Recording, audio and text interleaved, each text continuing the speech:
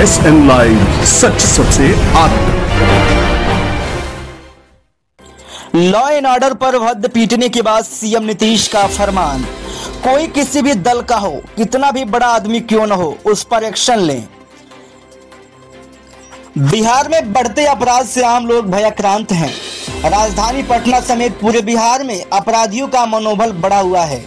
पटना में भी अपराधियों ने पुलिस को खोली चुनौती देकर सुशासन को कटघरे में खड़ा कर दिया है। लगातार हो रही क्राइम के मद्देनजर सीएम नीतीश ने आज हाई लेवल मीटिंग बुलाई थी। मुख्यमंत्री ने हिदायत दी कि लॉ एंड ऑर्डर सरकार की सर्वोच्च प्राथमिकता में है। पटना में शराब पीने वालों पर सख्ती बरतें। सीएम ने साफ़ कहा कि चाहे वो किसी भी दल का हो, परिवार का हो, अगर शराब पीते पकड़ा जाता है तो उसे जेल भेजें। नीतीश कुमार ने अधिकारियों से कहा कि बिहार में एक लाख की जनसंख्या पर डेढ़ सौ पुलिस कर्मियों की तैनाती को लेकर काम करें। गश्ती का औचक निरीक्षण करे वरीय अधिकारी। लॉ एंड ऑर्डर पर उच्च स्तरीय समीक्षा बैठक में सीएम नीतीश ने यह आदेश दिया कि मुख्यमंत्री ने कहा कि विधि व्यवस्था व शराबबंदी सरकार की सर्वोच्च प्राथमिकता में है। अपराध नियंत्रण में किसी प्रकार की कोताही न हो। अपराध अनुसंधान में तेज़ी लाएँ ताकि दोषियों पर जल्द से जल्द कार्रवाई हो सके। यह सुनिश्चित करें कि सभी थानों में लैंडलाइन फ़ोन चालू रहे।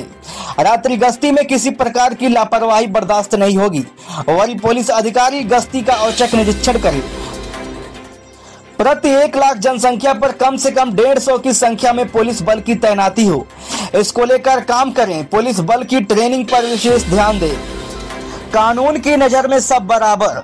सीएम नीतीश ने लैंड सर्वे एवं सेटलमेंट का काम तेज़ी से करने पर ज़ोर दिया है, ताकि अपराध में कमी आए। भूमि विवाद खत्म करने के लिए महीने में एक बार जिलाधिकारी एवं पुलिस अधीक्षक बैठक करने को कहा। उन्होंने कहा कि गृह विभाग के अपर मुख्य सचिव, पुलिस महानिदेशक तथा मद्य निषेध के अपर मुख्य सचिव हफ़्ता में एक दिन बैठक करें। ताकि समस्या का समाधान हो।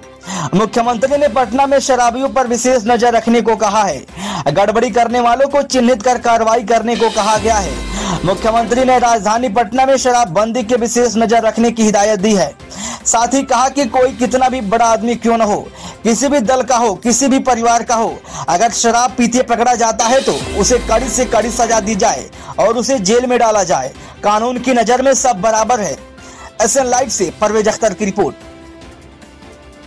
देश और दुनिया की ऐसी ही खबरों को पाने के लिए जुड़े रहिए हमारे साथ। और हाँ अगर आप वीडियो को फेसबुक पर देख रहे हैं तो हमारे फेसबुक पेज को लाइक करें। और अगर आप यूट्यूब पर देख रहे हैं तो यूट्यूब चैनल को सब्सक्राइब करना मत भूलिए।